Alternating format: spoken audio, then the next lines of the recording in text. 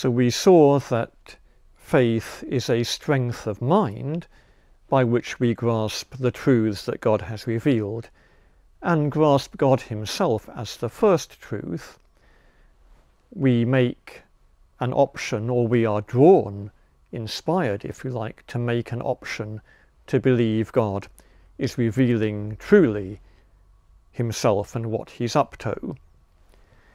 But St. Thomas picks up from St. Augustine a distinction between three senses of the word credo.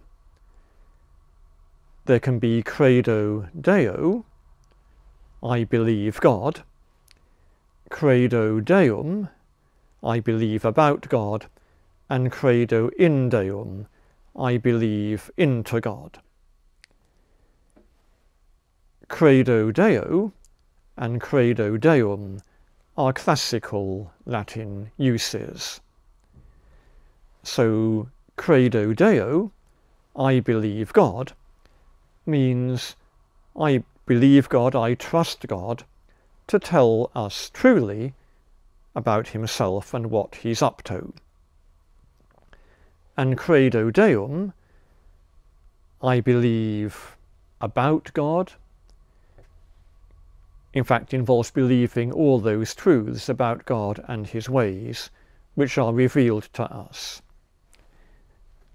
But there's a peculiar Christian usage, not a classical usage, which of course we find in the Creed, credo in unum Deum patrem, et in unum Dominum Jesum Christum, et in Spiritum Sanctum, which literally means, I believe into God the Father and one Lord Jesus Christ and the Holy Spirit. That's a non-classical usage.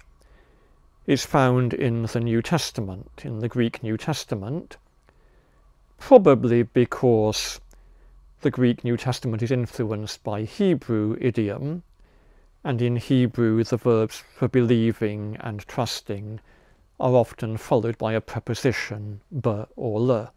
You rest your trust upon someone, and so on. So in St. John's Gospel, Jesus says things like, You believe into God, believe also into me. And St. Paul says, We have believed into the Lord Jesus Christ.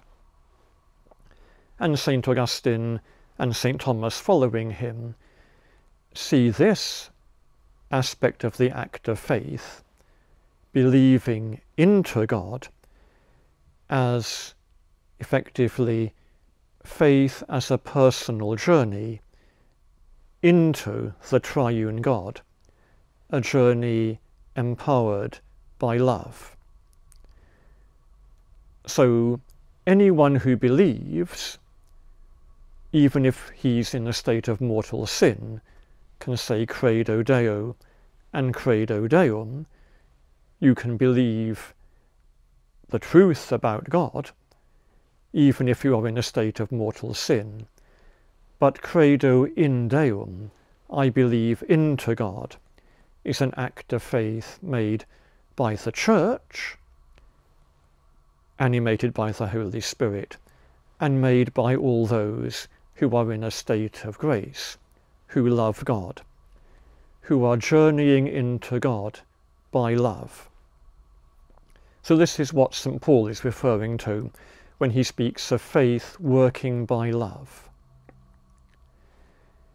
In a kind of technical sense, um, the act of faith made by someone in a state of mortal sin is unformed faith. It's an act of faith, but not formed by charity. Someone who is in a state of grace and professes his or her faith into God is exercising a formed faith. Just as the soul forms the body into a living body, charity, love, forms faith and the other virtues into a real life, an integrated life that will grow into the life of glory. So faith has to be personal, formed by love, and there are other ways in which faith is also meant to be personal. I mention the gifts of the Holy Spirit, which attune us to the instincts of the Holy Spirit. And in connection with the virtue of faith, St. Thomas speaks of the gifts of intellectus and scientia, insight and knowledge. Intellectus basically gives us a feel for the beauty of the faith, for how right it is. It gives us a sense of the beauty of what God has revealed as we begin to see things from the perspective of the Holy Spirit. And scientia, knowledge, is the Holy Spirit giving us the right instincts for overcoming difficulties to do with the faith and how to defend the faith when we are challenged. Jesus promised that when we are had up, then the Holy Spirit will give us things to say. So faith is personal rather than private. And it's worth mentioning that faith is compatible with certain factual errors due to our human situation. So, for 30 years or so, many Jewish people had a saving faith, believing that the Messiah would be born, though in fact the Messiah had been born. It's just that it wasn't public knowledge. So our personal situation also can have some effect on how faith is cached in our lives. And there's finally something else personal that's worth mentioning. St. Thomas also discusses the charismatic gifts, as we would call them.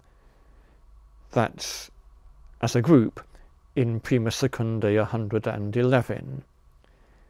And the charismatic gifts that St. Paul lists include faith, not the virtue of faith that we all are meant to have, but a kind of infectious faith that certain people are given that empowers them to exercise their charism to bring others to the faith.